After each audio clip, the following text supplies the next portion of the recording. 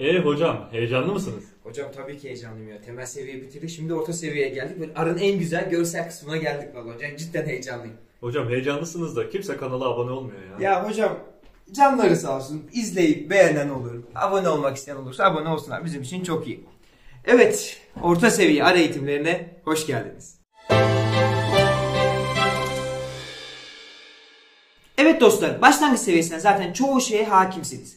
O yüzden ben direkt R script'imi açıyorum ama şu gözlük de bazen yansıyıp sizi rahatsız edebilir. O yüzden gözlüğü çıkarıyorum. Umarım görmediğimden dolayı sıkıntı çıkmaz. Bu kenara koyduk. Hemen şöyle başlayalım. Hatırlarsanız ki bizim bir ödevimizde santimleri kaldırmamız gerekiyordu string manipülasyonuyla. Ben orada demiştim ki başlangıç seviyesi eğitimlerinde string manipülasyonunu anlatmayacağım karmaşık gelir. Orta seviyenin ilk dersini anlatacağım demiştim hatırlarsanız. Hatırlamıyorsanız o videomuzda lütfen gidin hemen izleyin. Ee, hemen ilk videomuz zaten string manipülasyon konusunu e, ele almakta. Ama başlamadan önce aranızı lütfen güncelleyin. R stüdyonuzu güncelleyin. Güncellerken şuna dikkat edin. Ben şu an son sürüm olan 4.3.2'yi kullanıyorum. Size artık beni güncelle diye bir uyarı verecek. Güncellemeyi yapmak için şuna dikkat edin. Çünkü burada birazcık çok küçük bir işlem daha var güncellemede.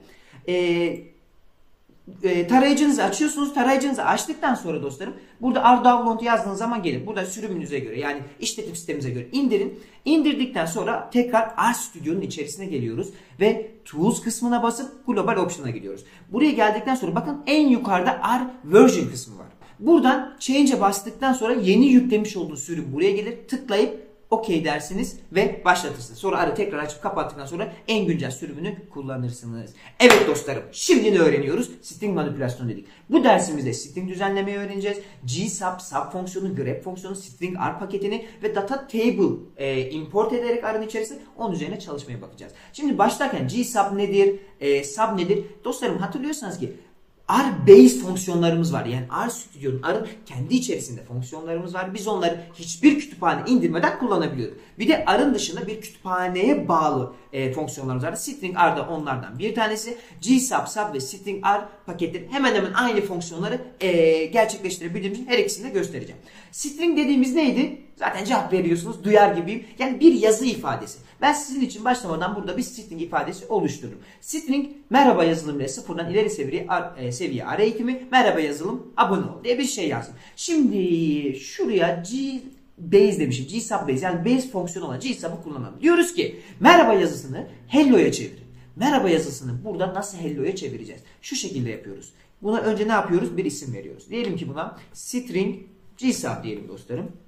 Atama operatörünü koyuyorum ve diyorum ki GSub fonksiyonumu kullanacağım. Fonksiyon olduğu için hemen parantezi nereden ya da nasıl bir işlem uygulayacağım? Diyorum ki merhaba yazılı merhaba yazısını alacağım.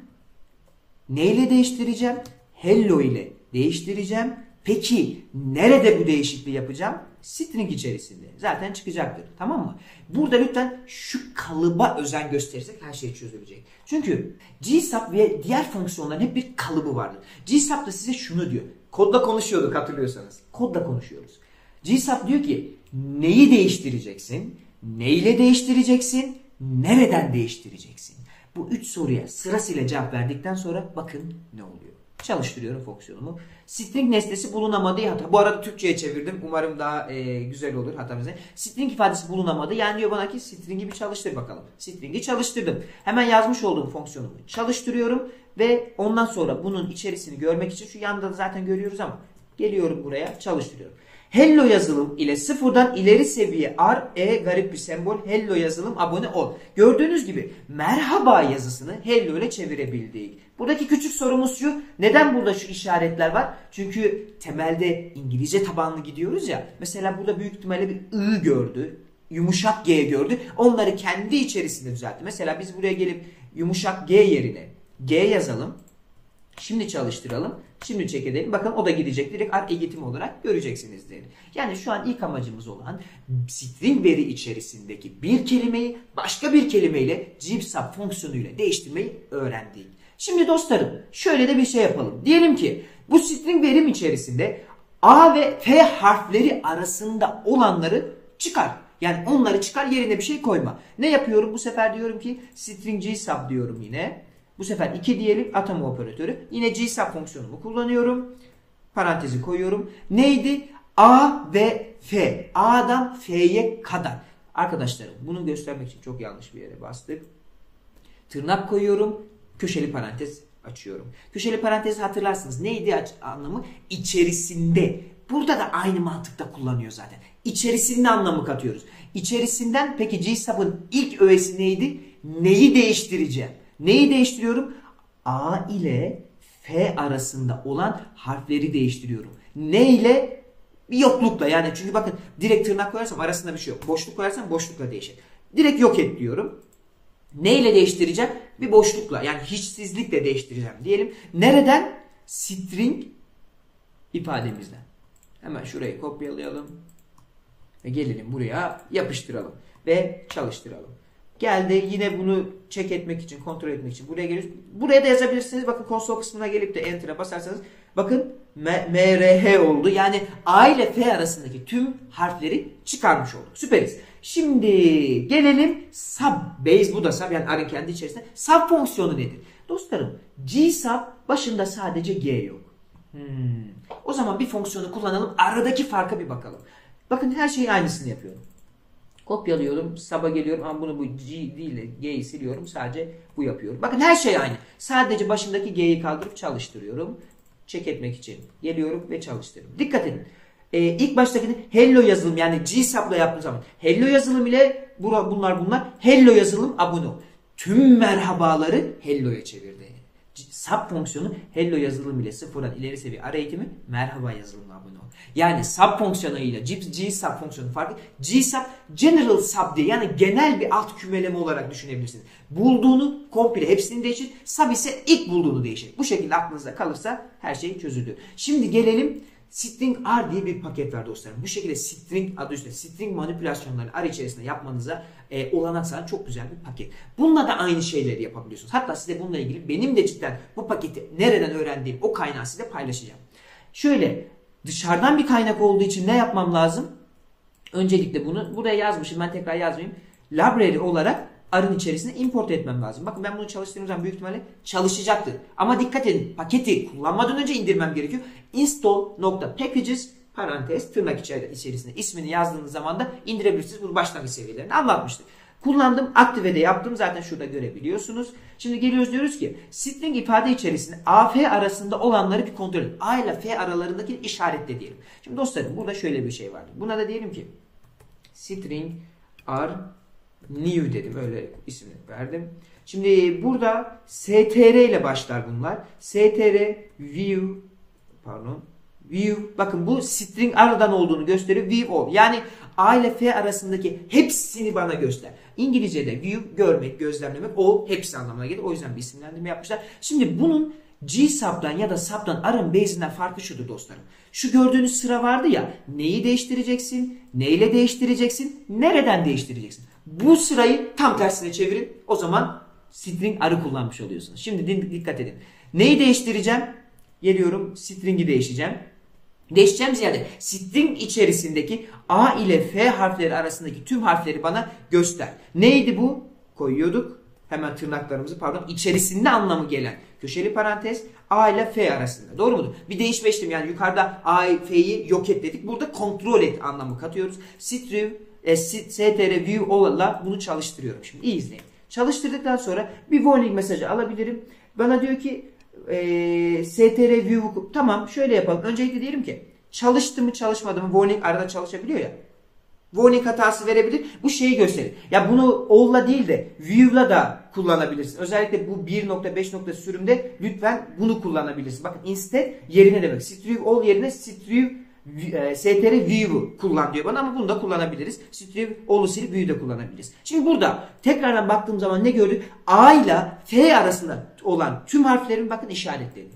Hepsini işaretledi. O yüzden string R paketiyle de bu şekilde bu şekilde şeyler ee, string manipülasyonunu gerçekleştirebiliriz. Bir de grep fonksiyonumuz var. Arkadaşlar grep almak çekmektir. Bunu şu şekilde kullanabilirsiniz. Örnek veriyorum çok hızlı bir şekilde grep dedim. Grep fonksiyonu zaten bakın arın içerisindedir. Grep, grep el olan da listeler için kullanılabilir. Grep fonksiyonu dedim. Mesela diyorum ki bu da arın base'inde olduğu için sırası budur. Mesela diyorum ki merhaba yazısını bir kontrol edelim. Merhaba yazısı bizim string ifademiz içerisinde var mı yok mu çalıştırdığımız zaman bir. Yani diyor ki evet ben bir tane yakaladım bir tane var diyor. Bunu liste formatına şu şekilde lojik olarak da yaparsanız evet true diyecek ki bir tane merhaba var. Bunu bu şekilde kullanabilirsiniz. Ama grep'i daha çok şöyle kullanıyoruz. Bir veri oluşturuyoruz. Grep fonksiyonumla diyoruz ki sen bunu al buna değiştiri. Ekstradan koyup ilerleyen zamanlardaki projelerde kullanabilirsiniz. Bunu GSAP'la da yapabilirsiniz. Şimdi gelelim. Arın içerisinde veri yazdıktan sonra onu değiştirmek çok kolay. Peki dışarıdan bir datayı arın içerisine koyarsak işler nasıl olur? Hemen ona geliyoruz. Diyoruz ki e, bir tane boy listesini import edelim. Ben direkt bunu yazdım zamanınızı almamak için. Bu zaten çalışma yerine e, ben bunu koymuştum. Zaten bunların hepsini kitapta paylaşacağım size. Orada nasıl erişeceğinizi biliyorsunuz. Bir boy listesini okutalım. Dosya okutmayı biliyorsunuz. Ama burada bir hata alacağımızı biliyoruz değil mi? Neden? Çünkü read xlx formatı bir dış kütüphaneye bağlıdır. O yüzden read Excel komutunu e, kütüphanesini aktive ettikten sonra okuttuktan sonra boylar listesine geliyorum. Datamın içerisine bakıyorum. İsim, soyisim ve boylar var. Hani diyordum ya size buradaki CM'leri bizim kaldırmamız gerekiyordu. Bize sorun çıkarmış. Bakın gelin onu burada yapalım bir daha tekrardan. CM'leri boşluk ile değiştirme. Lütfen burada durdurun siz yapın. Yukarıdaki GSAP'la aynı zaten. Ben de hemen hızlıca sizle birlikte yapayım. Şimdi boy listesi dedik. Boy listesi ee, degismis diyelim tamam mı? Atama yapalım. GSAP kullanacağım. GSAP'la ne yapacaktım? E, santimleri boşluk ile değiştirme. Santim ifadesini boşlukla ya da boşluk demeyeyim de yok edelim. Nereden? Boy, ay, boy listesi içerisindeki boydan. Bunu yok edeceğim. Doğru mudur? Şimdi peki bunu yaparken şöyle de bir şey yapalım mı? Yani gidip boy listesini de bunu yine o tablonun içerisine ekleyelim. Diyelim ki e, boy listesi hani yeni bir şey oluşturuyoruz boy listesi içerisindeki boylardan direkt santimi çıkaralım. Daha güzel bir sonuç elde edelim. Hemen bunu çalıştırıyorum. Fonksiyonum çalıştı. Boy listesinin içerisine bakıyorum. Bir dakika hemen buraya kaydedelim. Bazen şey olabiliyor. Ben bunu tekrar çalıştırayım ki hemen e, güncellesin kendini. Geliyorum. Aa santimler kalkmamış. Burada bir problemimiz var. Hemen kontrol ediyorum tekrardan. Boy listesi içerisindeki boy gsub fonksiyonu ile santimleri al diyorum ve şuraya bir boşluk koyalım. Şöyle çalıştırmaya çalışalım. Bakalım alacak bu sefer. Yine almadı. Evet burada bir problemimiz var. Burada şimdi bir duralım bakalım. Evet şimdi dostlarım orada bir küçük bir hata var. Ben onu bir kontrol etmek için videoyu orada bir durdurdum. E şöyle bir şey varmış. Hata değil. E, neden hata değil? Şimdi bu bazen olur. Çalıştırdıktan sonra diyelim ben boy listesini şu an burada açtım ve üzerinde şöyle bir değişiklik yaptığım zaman yani fonksiyonumuzu çalıştırdıktan sonra değişmediğini görebiliriz. Niye? Çünkü zaten tekrardan e, sabit açtığım yerde yeniden açarsak değişecektir. Yani tekrardan verinizi açarsan düzelir. Orada bir hata yok sadece ben onu tekrardan açmayı unutmuşum. Dediğimiz gibi bu şekilde yaparak GSAP'ta gördüğünüz gibi santimleri bir veri içerisinde de kaldırıp karakter olması lazım bu arada oranın yani klasına bakalım. Karakterlerin içerisinde santimi kaldırıp bir boşlukla değiştirebiliriz. Bunu da bu şekilde zaten gördünüz. Bunu zaten bir önceki ödev içerisinde yapmıştık. Burada da artık çok kolay bir şey olduğunu zaten siz de gördünüz. Peki şöyle bir şey yapalım. Yeni kolon açalım ve sadece içerisinde sayılar olsun. Sadece sayılar. Peki boy listesi biliyorsunuz içerisinde yeni bir şey yine e, şeyler açabiliriz. New diyelim. Ya yeni diyelim şu İngilizce kullanmayalım ya. Tamam yeni dedik. Ne yapıyorum? GSAB ile şimdi burada vereceğim kaynakta bunları göreceksiniz. Şu durum var. Sadece sayı ne demek? GSAB fonksiyonunda sadece sayı ne demek? Bu string arın içerisinde aynı. Ya da sadece karakterler ne demek? E dostlarım bunları şu şekilde kullanıyoruz. Köşeli parantez açıyorum. iki tane tamam mı? Ve arasına bu bir kuraldır. Yani maalesef burası ezber. E, iki tane üst üste noktanın içerisine hangi tür veri alacağınızı yazıyorsunuz. Bu paketlerde digit demeniz sayı anlamında. O bir gördüğümüz numerikler anlamına gelir. Digit yazarsanız demek istersiniz ki digitler yani e, senin buraya şimdi şey yazacağız ya örnek veriyorum. E, bunları sadece sayılar olsun diyor ya. Şunları nereden alacaktık? Boy listesi içerisindeki yapamadım. Boy listesi boy listesi ben yazayım. Boy listesi boydan değil mi? Sadece ee, sayılar alacağım. Şu an boyda zaten sadece boylar şey sayılar olduğu için ben tekrardan burayı çalıştırayım. Şunu kapatıp şuradan yeniden açayım ki şey olsun. içerisinde santimler olsun. Ya şu şekilde de yapabiliriz. Bunu istiyor iseniz santim ile bu GSAP fonksiyonuyla CM'yi yok etti. Kullanabilirsiniz ya da bu şekilde sadece digitleri al olarak da gerçekleştirebilirsiniz. Bunu bu şekilde de yapabilirsiniz. Ben farklı yani bunu da görün. Digit olarak da alındığını, buraya alfa yazarsanız da karakter olduğunu görün. Zaten bunların kaynağını hemen göstereceğim. Bu şekilde yazarsak neydi GSAP? Neyi değiştireceğim? Neyle değiştireceğim? Nereden değiştireceğim? Fonksiyonu yazdım. Ama şimdi burada şeye dikkat edin. Böyle yaparsak digitleri yani şuradaki sayıları yok ederiz. Doğru mudur? Ama biz ne istiyoruz? Sayı olmayanları yok et. Bu tür fonksiyonun içerisinde de gençler şu e, alt 3'e pardon shift 3'e bastığınız zaman şöyle bir e, üçgen işareti, evin kubbesi, çatısı gibi düşünebilirsiniz. Bir işaret gelecek. Bu bu tür fonksiyonlarda değil anlamında. Yani digit olmayan anlamına gelir. Bu şekilde koyduk. Bu şekilde yaptıktan sonra bakın ne diyoruz? Digit olmayanları yok et ve yeni bir kolon oluştur. Yeni kolon adına çalıştırıyorum.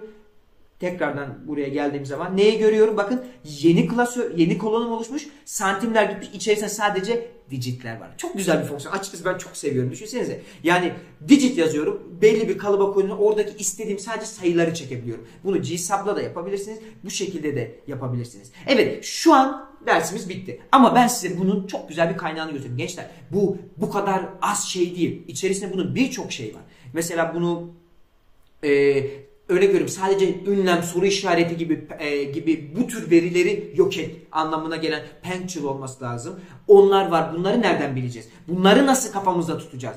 diye düşünürsen tutmanıza gerek yok. Şunu yazıyoruz. Regex Ay yazamadım. Regex regex r regular expression demektir. Yani e, bu bizim string'de kullandığım şey. Ben şimdi şimdi e, benim hangisini kullandığımı bulabilirsem size göstereceğim. Belki şu şekilde yazarsam daha güzel çıkacaktır ya. regex regex in r diye bir şey yazmışım. Büyük ihtimalle buradadır. Ha şu. Bakın Data Camp'in bir reklam değil bu arada. Ben çok faydalı bulduğum için öneriyorum. Buraya geldim. Bu linki açıklama kısmına da koyuyorum. Bakın burada Elena diye bir arkadaşımız burada zaten bunları yazmış. Bakın burada tek tek size anlatıyor. Bakın gelin Az önce size söyledim string'i kullanmak için. Package'i e, indireceğiz, kullanacağız. Mesela grep için str subset kullandığımız zaman hatta isterseniz gelin deneyelim. E, yok biz nerede gsub'da yapacağız. Mesela diyor ki gsub için str replace all dersen bu arın içerisindeki gsub'a eşittir diyor. Bakın base string ar. Gelin şunu kullanalım mı bir tane görelim nasıl yapacağımızı. E, şu aşağıya gelelim. Arı açalım. Bakın gelin bir tane e, web sitesinden web sitesinden örnek diyorum tamam mı? Web sitesinden örnek. Neydi fonksiyonum? str'yi kullanacağım. Buna da e, örnek diyelim. Dedim. E, bunun tabii ki tam tersiydi. GSub'da mesela GSub'ı da hatta şuraya alayım ki ikisini kıyaslayalım. Bunun tam tersi. Nereden değiştireceğim? String'den değiştireceğim. Doğru mudur? Benim string'im var. String'den merhaba yazıyorum yine. Merhaba yazıyorum yine. Neyle değiştireceğim? Hello ile değiştireceğim. Bakalım olacak mı? Çalıştırdığımız zaman geldi. Bakalım. Şimdi örneği çalıştıralım hep birlikte. Böyle yaparsak olmaz. Hello yazılım ile sıfırdan hello bilmem ne. Bakın geliyorum bunu çalıştırıyorum. Hatta şunun altına koyayım bak. Hem şunu çalıştırayım hem şunu çalıştırayım. Göreceksiniz ki ikisi de aynı. Ama ne? Buradaki e, GSAP'ın tam tersi dedim yani GSAP'da e, en son nerede bir değişiklik yapacağını söylerken STR'de yani bizim e, kullandığımız yeni kütüphanemiz olan neydi adı? Ha Stringar unuttum ben de. Stringar'da ise nereden sorusunu ilk başta cevaplıyoruz. Gerisi zaten aynı. Bakın ikisi de aynısını verecektir. Bu şekilde gelip buradaki e, buradaki web sitemize yazmış oldukları data camp'i gelip buradan da kontrol edebilirsiniz. Öyle görün. Bakın Sub'ınki de str replace'miş mesela. Gelip bunları alıp bu şekilde kullanabilirsiniz. Hatta bakın aşağı indiğiniz zaman e, atıyorum bold yazdırabilirsiniz. Küçük harflerle yazdırabilirsiniz. Tab boşluk bırakabilirsiniz. Bunlar basit. Bunları başlangıç seviyesinde de göstermiştik. Highlight yapabilirsiniz gibi. Bakın burada bir sürü şey var. Hatta bakın benim söylediğim şey. Herhangi bir harf istiyorsanız alfayı kullanacaksınız. E, digit kullanacak. Digit yani atıyorum bunun digitlerine farklı türleri olabiliyor. Onu kullanabilirsiniz. A, puncture dediğim bu punctuation'dan gelen yani bu soru işareti falan filan kullanabilirsiniz. Digit kullanabilirsiniz. Bakın buradan gelerekten dostlarım hepsini buradan daha da detaylı öğrenebilirsiniz. Buraya kadar izlediğiniz için çok teşekkür ederim. Aklınızda herhangi bir soru olursa yorumlar kısmına yazın. LinkedIn'den bana yazın. Instagram'dan bana yazın. Elimden geldiğince size yardımcı olacağım. Kendinize iyi bakın.